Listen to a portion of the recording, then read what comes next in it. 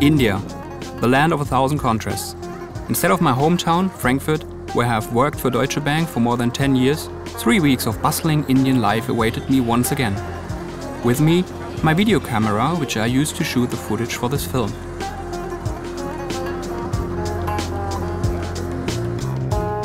And that's me, Joris Hensen. This is where I work and support my colleagues at BFund, the first organization in India which helps young people to set up their own companies.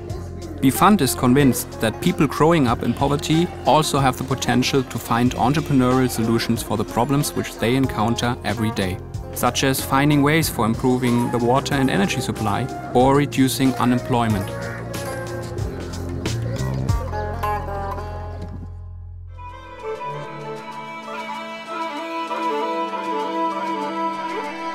Here I'm visiting Muni Raju.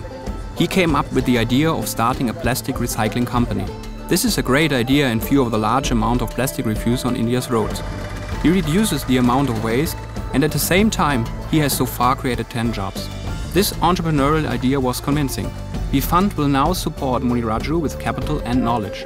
He is one of a hundred young men and women who will receive such support. However, all of this is only possible with the help of investors. This is why an advert is being shot here in Mumbai's alleyways, which aims to make many more people aware of BFund. I'm also making my own personal contribution. One of my tasks is to present BFund to possible investors and show them the advantages it has to offer. In addition, I have also developed a software which makes it possible to better evaluate and communicate the organization's social and financial successes. Just like this advert, this program is an essential step in supporting BFund's publicity work.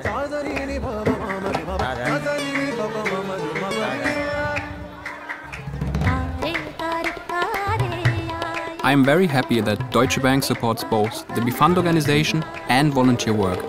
It has given me the opportunity to participate in this fantastic project and to make my contribution towards a better future for young people here in India.